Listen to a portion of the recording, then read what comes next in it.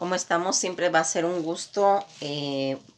hacer esta comunión en cuestión de conocimientos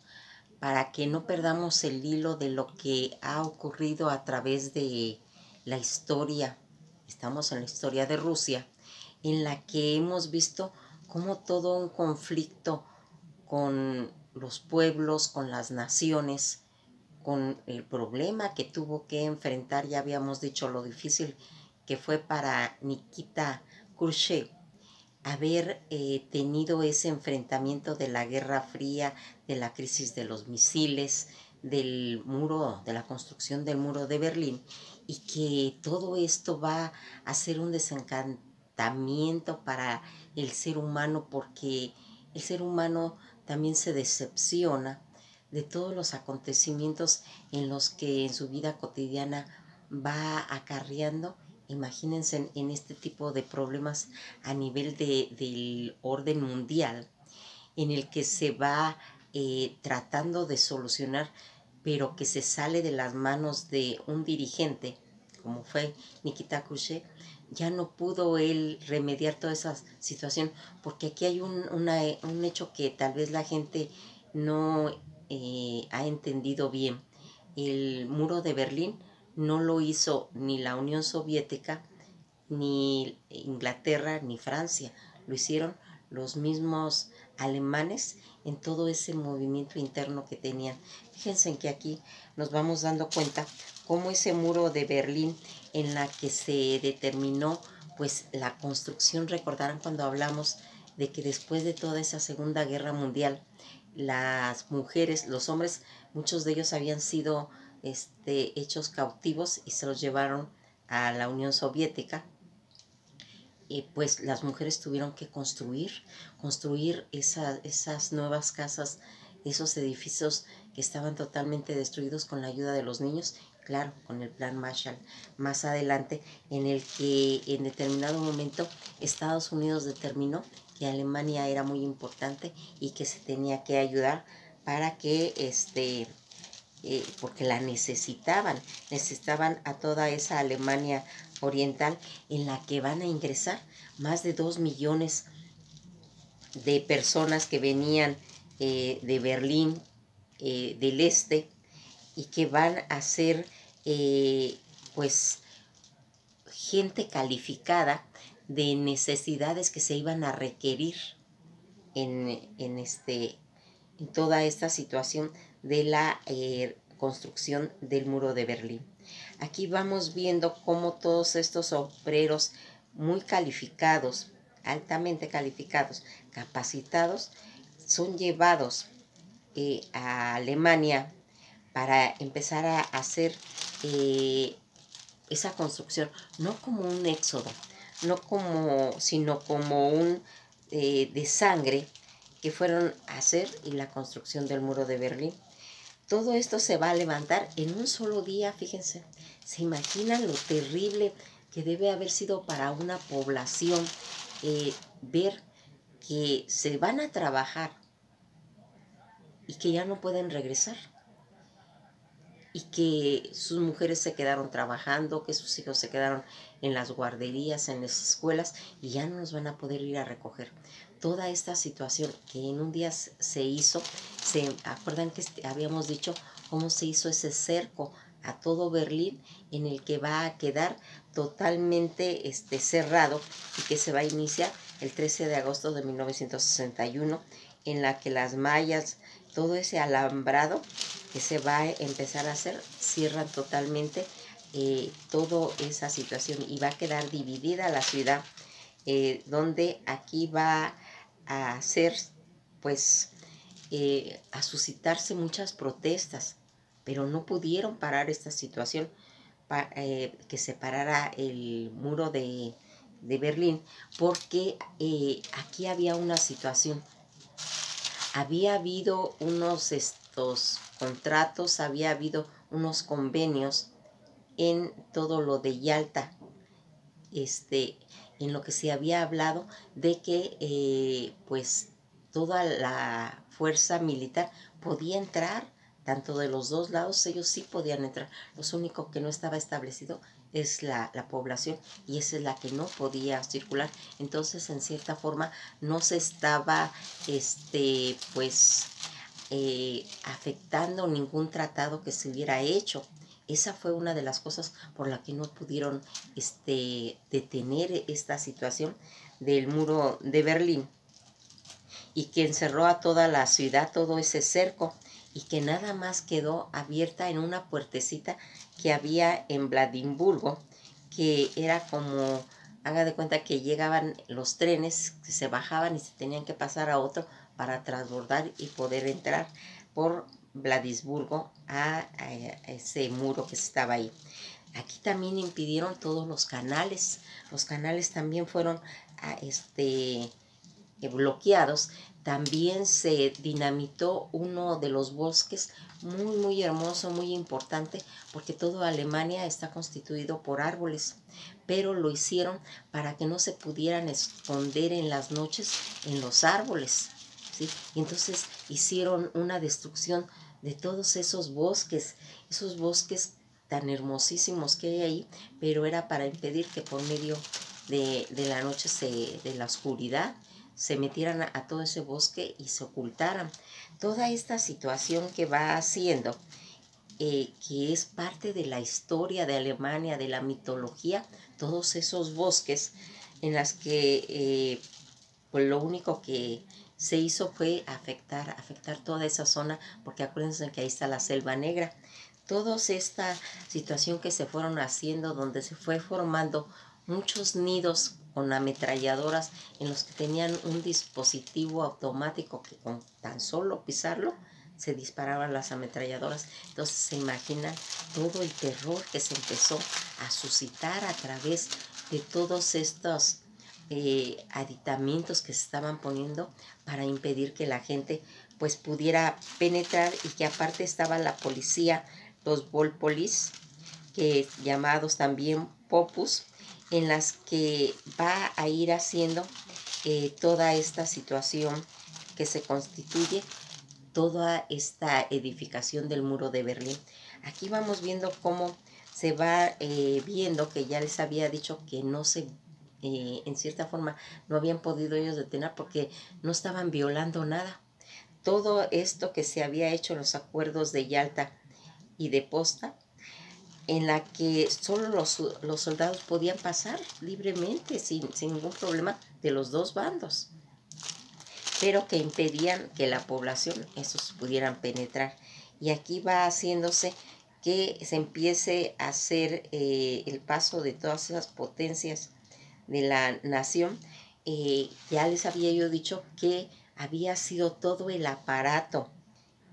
alemán interno, fue el que edificó este muro y que aquí no lo hizo ni Estados Unidos ni la Unión Soviética. Todos estos cuestionamientos que se estaban dando, todo este legislamento que en cierta forma era algo legal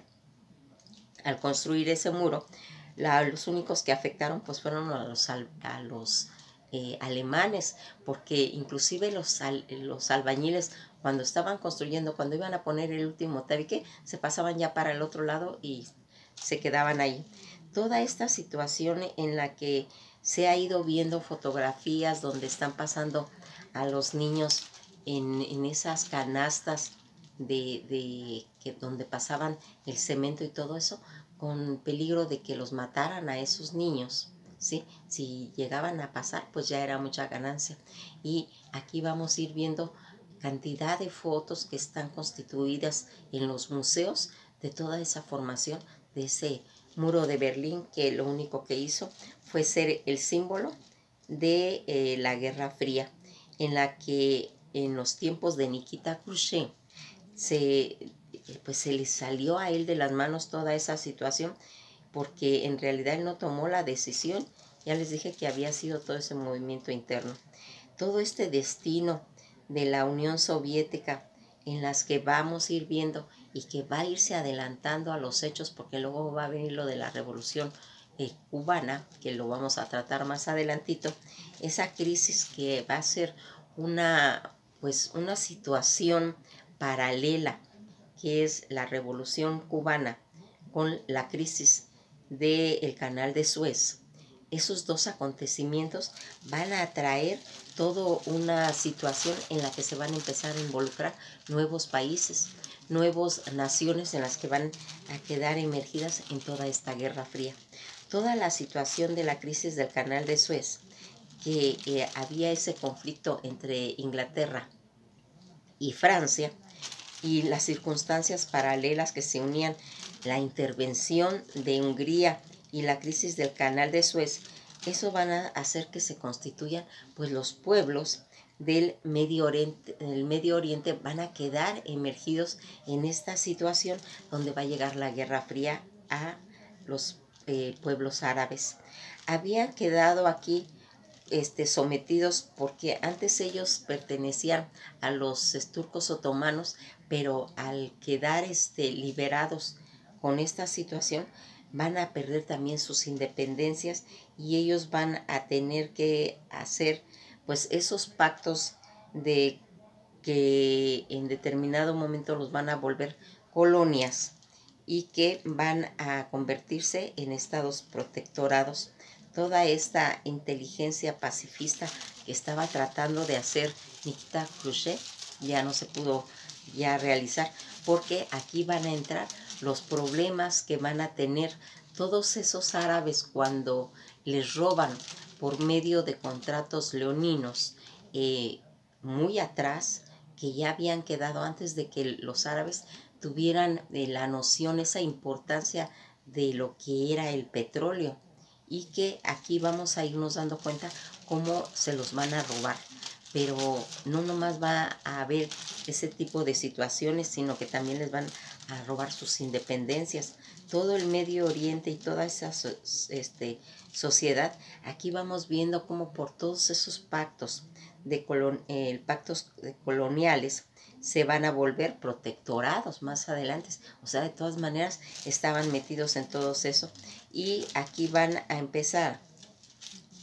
a, tener, pues, eh, ya habíamos visto que los árabes todavía no tenían esa conciencia, esa conciencia de lo que era el petróleo y que aquí va a hacer que pase, pues, eh, cosas pues muy importantes porque una de las situaciones que es el canal de Suez es una cosa muy muy importante, es un paso muy importante del petróleo y que aquí todas estas cosas que podrían resultar eh, eh, pues como peligrosas el afectar ese paso, aquí también vamos a ir viendo cómo se va a implantar lo que se va a hacer el, este, el Estado de Israel. Un Estado de Israel que ya habíamos dicho que se va a edificar en tierras de Israel, pero que el pueblo no les habían pedido ni les habían consultado, no les habían pedido su consentimiento, no les habían consultado, no les habían preguntado y se va a edificar el Estado de Israel en las tierras árabes. Todo esto sobre la crisis que se va a hacer, que va a ir creando ese pueblo Israel, de Israel,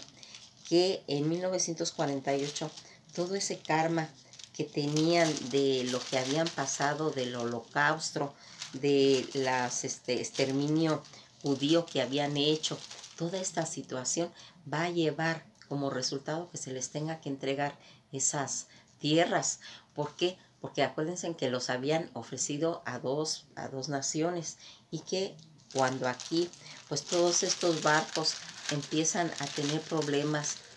en el Mediterráneo que no pueden llegar a puerto y todo se les va a tener que dar esas tierras en las que va a intervenir la Unión Soviética. La Unión Soviética tiene que este, intervenir porque si no se hubiera hecho pues algo más grave, eh, van a tratar de que eh, pues tranquilizar la, en cierta forma la situación que se estaba viendo porque la tensión era muy fuerte. Todos esos pueblos árabes piensan que todas las intervenciones de estas potencias que han ido pasando a través de su historia siempre les ha traído eh, eh, situaciones pues denigrantes, situaciones que ellos no pueden concebir cómo es posible que les esté pasando tantos acontecimientos y van a formarse como un fenómeno político que es el panarabismo. Todo esto que se va a ir delineando y que va a haber una persona, ya un anciano, que va a tratar de pues ayudar, que es este Omal Abel Nasser. Va a hacer todo un acontecimiento histórico y va a tratar nuevamente de unir todos esos eh, hilos históricos y para que tome nuevamente su, su, cauce, para que vuelvan a tomar toda esa, esa unión que se tenía y que se formen nuevamente sus destinos de, esos lugares. Aquí vamos viendo cómo otro movimiento que se viene avisando eh, es la nacionalización del canal de Suez, en los que tanto habían esos problemas políticos entre Inglaterra y Francia y que eh, pues ellos van a tener que hacerse a esa aventura para hacer el concepto del nacionalismo en el canal de Suez. Toda esta situación que en un momento había, se había presentado en cuestiones militares y que se va a unir eh, la Unión Soviética, al principio uno estaba en contra de otro porque aquí se va a unir la Unión Soviética con Estados Unidos. No estaban de acuerdo al principio, pero van a tener que hacerlo para que se vuelva a ordenar todas esas situaciones en las que tanto esos ingleses y franceses van a tener que ser derrotados, van a tener que salir, porque eh, si no hubiera sido un problema tan grande que podríamos haber llegado hasta la Tercera Guerra Mundial, en la que aquí, pues la ONU va a intervenir y va a ver que la resolución es de que salga Inglaterra y Francia de esta situación y que toda esta crisis que se va haciendo para que no se, se agrandara, para que no se hiciera un conflicto mayor, de mayores proporciones, en los que podría ser pues algo muy grave, muy tenso, que se sentía. Y aquí va a pasar una cosa. La Unión Soviética al principio, pues como ya les digo, no quería intervenir, pero van a, tener que hacerlo. Y aquí vamos a ir viendo cómo se va a ir haciendo todo este concepto en cuestiones de esa nacionalización que vamos a ir viendo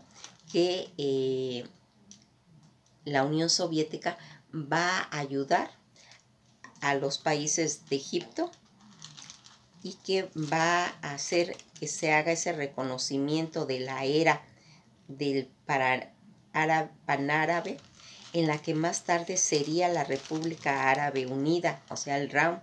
y que va a disolver y hacer que se hagan realidad todas las independencias de las naciones árabes que en aquel momento pues no se habían este, hecho. Fíjense en que una de las situaciones que van a ser todo este conflicto que se va haciendo en los regímenes en los que se habían hecho, que en realidad pues les dieron un poco de orgullo en la geopolítica a los árabes y con la crisis energética que les dieron, pues fue algo nuevo, un espacio para que ellos pudieran expandirse y ese régimen que aún hasta estas fechas es el que tiene los problemas y que está en vigencia. Y aunque ya se ha hecho pues la paz con Israel, ya este, toda esa rebelión árabe es para los regímenes de esta época, ya hace tiempo que murió Nasser, el que estaba ayudándolos, porque todos esos tratados que se hicieron en aquella época ya pasaron más de 30 y 40 años, en los que ya se perdió la vigencia y el sentido de lo que se habló en esa situación. En su, este, pasaron muchas cosas en las que se hicieron toda esa nacionalización, toda esa rebelión árabe y todos esos conflictos del canal de Suez. Aquí vamos viendo cómo el mundo se va a ir globalizando y en la que donde se va a ir metiendo la Unión Soviética y Estados Unidos a esos, a esos estados. Solamente aquí vamos viendo cómo eh, Estados Unidos la Unión Soviética, eh, van, eh, Estados Unidos va a proteger a una parte, que va a ser a los estados de Israel. ¿sí? Y aquí eh, la Unión Soviética va a ayudar a Siria y a Egipto. Toda esta situación porque ellos estaban empezando, Egipto estaba empezando un proyecto que es la eh, este, represa de Asuán y que la estaban construyendo en las que en determinado momento ningún país lo ayudaron. Aquí no estuvo Inglaterra para ayudarlos, no estuvo Francia, no estuvo Estados Unidos, nadie les quiso dar dinero para eso. Los únicos que ayudaron a que se financiara esta situación fue la Unión Soviética. Por lo tanto, hicieron un, monumento gigantesco para agradecerles, agradecerles toda esa ayuda que tuvieron ellos eh, en darle. Al salir toda esta situación del colonialismo, la Unión Soviética y los Estados Unidos, así como la Guerra Fría, va a llegar al Medio Oriente. Eh, aquí cuando vimos que se estaba haciendo este proyecto de la represa de, de Asuán y también el lago Nasser, que va a significar algo grandioso en la ingeniería y que gracias a los soviéticos va a llevarse a cabo. Toda esa crisis del canal de Suez, esa eh, llegada de la Guerra Fría al Medio Oriente y que va a ser aprovechada por todos esos países de los conflictos que ellos tenían para poder hacer todo eso. Todo va a quedar en lo del canal de Suez y los pueblos árabes va a resumirse en aquellas cinco guerras. Esas guerras de las potencias que se enfrentarían en esos procesos que se llevarían para llegar a los conceptos de la paz. La Guerra Fría va a empezar a estar eh, alimentada eh, por todos los conflictos que habían en los pueblos internos. Fíjense en que aquí vamos a ir viendo cómo eh, todo este, este concepto que se va haciendo va a hacer que veamos algo claro. Cuando hay un conflicto,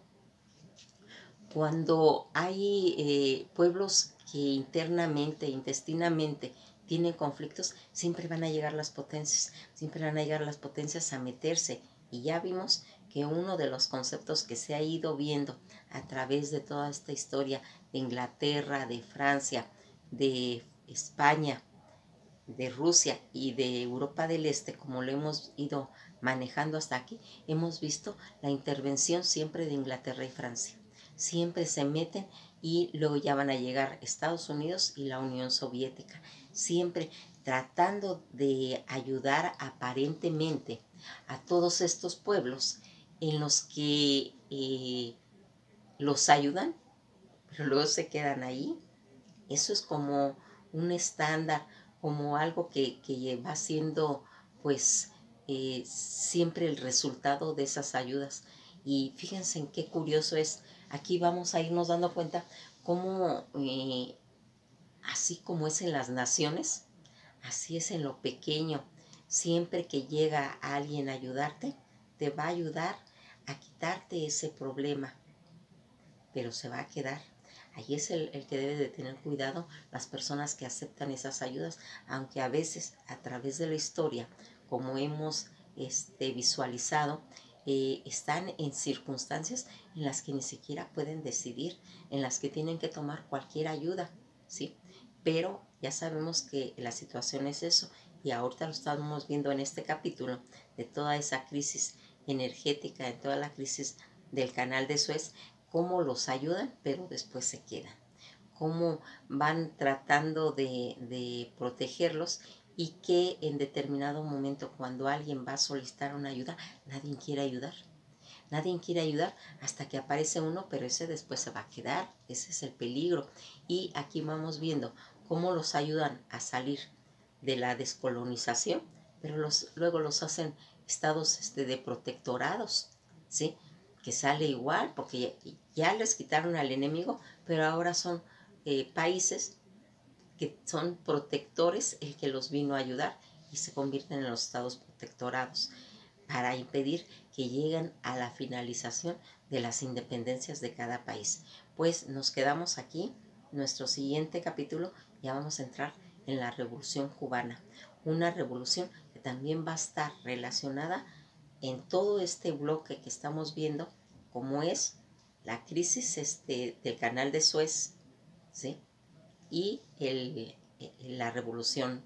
cubana, que es lo que vamos a quedar pendiente. Esto ha sido todo por hoy y nos veremos en el próximo capítulo de la historia de Rusia.